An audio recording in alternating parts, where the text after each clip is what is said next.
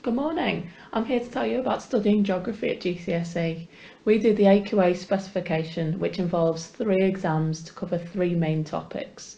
The physical environment in paper one, the human environment in paper two, and geographical applications in paper three. So what does this actually mean you'll study? Well, let me show you.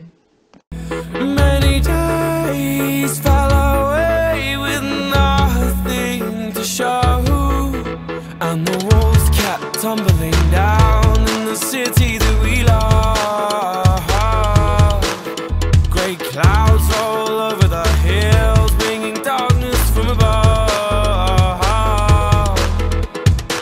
But if you close your eyes does it almost feel like nothing changed at all?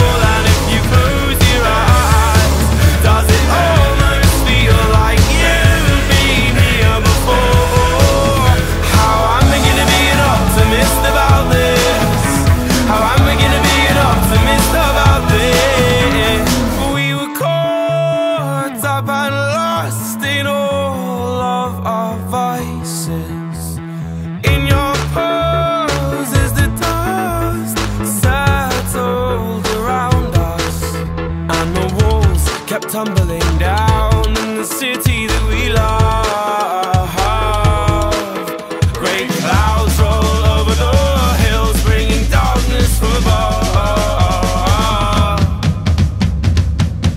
you close your eyes Does it almost feel like nothing So, who will GCSE geography suit?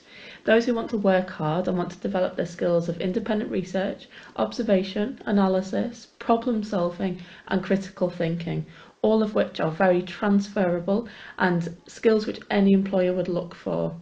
Many science based university courses also accept geography as an entry requirement to get onto the course.